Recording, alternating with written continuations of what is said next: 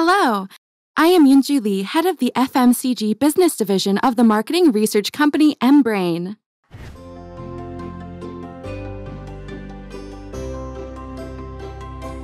When the COVID 19 pandemic first started in 2020, you didn't think it would last this long, right? COVID 19 has shaken up all of our lives in a very short time. Students take online classes instead of going to school, and telecommunicating has become the norm. Even small daily routines, as going to the movies or going to the supermarket, have become tasks that require a lot of courage to do. Since it started affecting people's standards of living and consumption, there were big changes in the food market. The personal care market is also changing rapidly as the need for health and safety grows. However, consumers are changing as much as the markets are. In today's lecture, I will share with you briefly about the new trends in food and personal care markets. I have summarized the latest food market trends in three keywords.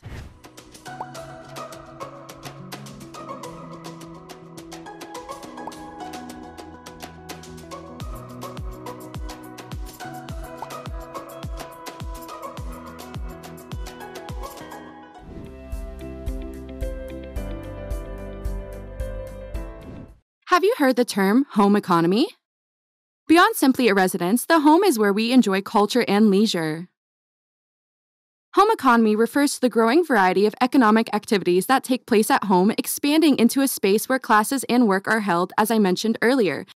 Untact consumption is no longer an option but a necessity. As remote services increase, so have delivery and parcel services. In the past, delivery was limited to chicken and pizza. It's now an era in which all menu items, including Korean, Japanese, and Western cuisines, and even desserts, can be delivered. There is also another rapidly growing market, right? We are talking about the well known HMR market of home meal replacement foods. The convenience food market is becoming more sophisticated and specialized. While it is centered mostly on frozen products, it now includes refrigerated or room temperature ones, offering even menus from famous restaurants. As more people cook at home due to COVID 19, the Korean HMR market is steadily recording an average annual growth rate of more than 20%. The Korea Agro Fisheries and Food Trade Corporation predicted a market of $5 billion in 2022. And I think this is a great achievement because it is said that Korea will be able to reach it this year due to the aftermath of the pandemic. Recently, HMR Food has expanded into RMR, restaurant meal replacement foods. These are premium convenience foods that emphasize healthier ingredients with specialized dishes from famous restaurants or certified by famous chefs. Isn't it great to be able to easily heat up food from a famous restaurant at home without having to go out far away?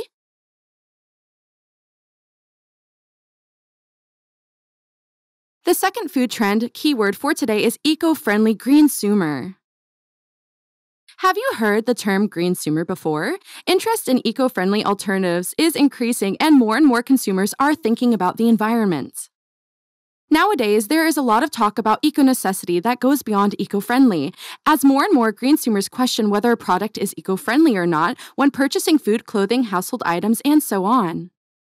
More and more companies are also targeting them by launching clothing, natural cosmetics, vegan cosmetics, and vegan food using eco friendly ingredients and materials. And not only products, the use of eco friendly packaging materials is expanding as well.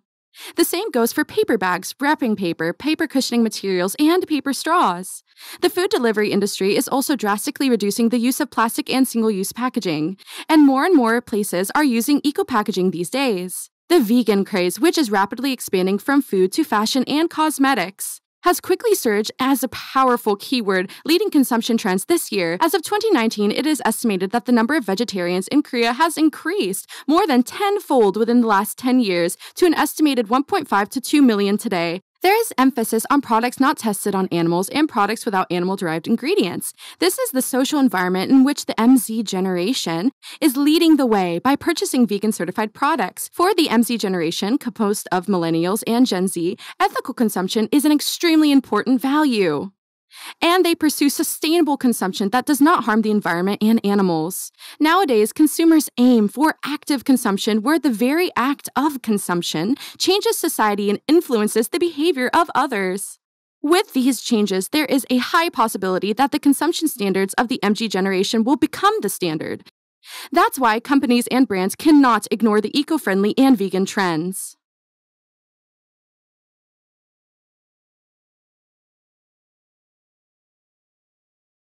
Would you like to live in a society where individual tastes are respected? Through social media platforms based on personal tastes and interests, such as Instagram, you can communicate and share easily with people who have similar interests.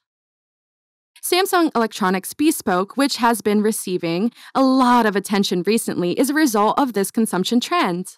These days, products that reflect consumer preferences are a hot topic in the home appliance and automotive markets that feature expensive and durable products. Services that allow you to choose from a variety of options are popular trend too.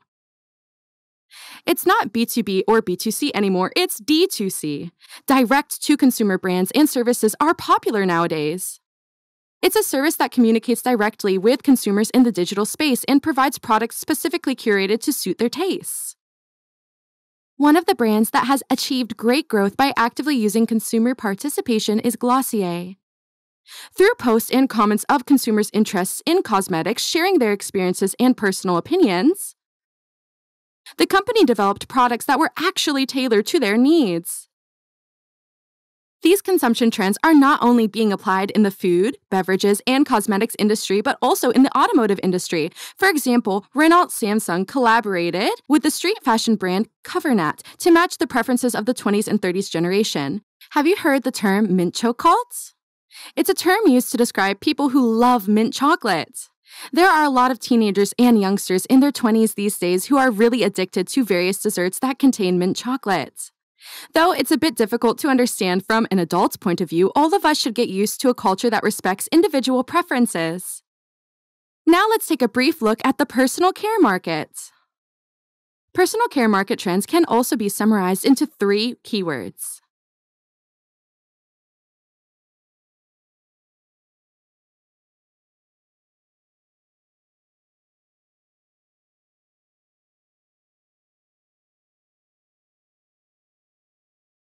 Even more important than the food market, let's look at the trends in the personal care market. There's a new term that combines convenience and premium and refers to consumers' preferences for convenient products or services that save time and effort. This term is convenium. High performance or high quality home appliances that increase consumers' time efficiency and are easy to use are gaining popularity worldwide. The best known examples are robot vacuum cleaners, clothes dryers, and dishwashers. Dry cleaning and laundry collection apps are gaining popularity these days, right? This era is one where convenience is a competitive advantage.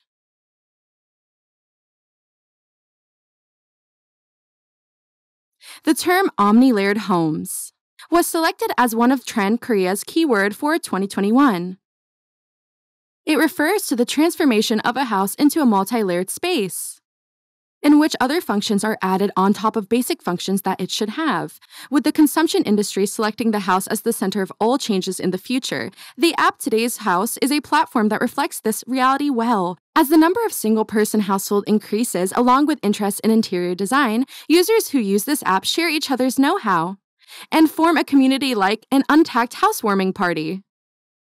Voluntary participation is possible with these apps. It's worth noting that the MZ generation enjoys decorating notebooks, phones, and rooms. This trend can be explained as a combination of social media culture and the pursuit of individuality of the MZ generation, who share these activities for their own satisfaction while showing them to many people by posting their experiences on their personal social media. The third trend in the personal care market is hyper personalization.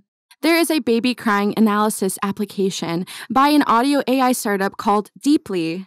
Based on an audio database of over 70,000 hours of newborn babies under six months old, it is an app that notifies parents in advance of their baby's needs, such as when they are hungry, sleepy, need a change of a diaper, a hug, and so on.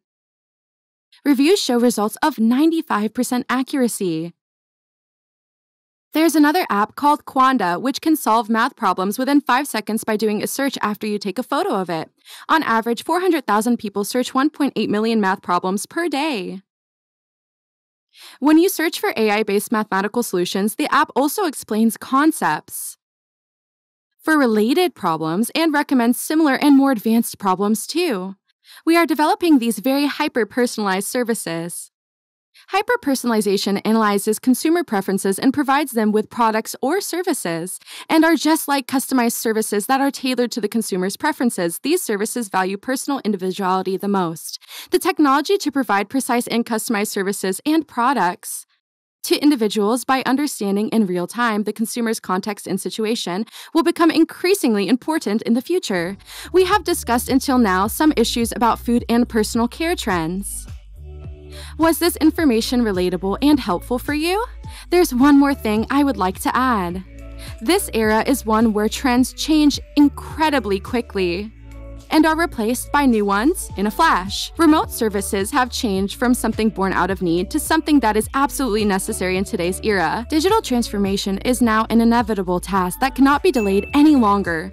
In the future, I think that the entire process from manufacturing to sales will have to be done digitally together with consumers. A fast digital transformation, understanding and empathy for the MZ generation and generation of the future. You must know the importance of these two points, and if you thought that you should prepare prepare as soon as possible for them, I think this lecture will be a very valuable lesson to you. This has been Yoonju Lee of Embrain, a specialized marketing research company.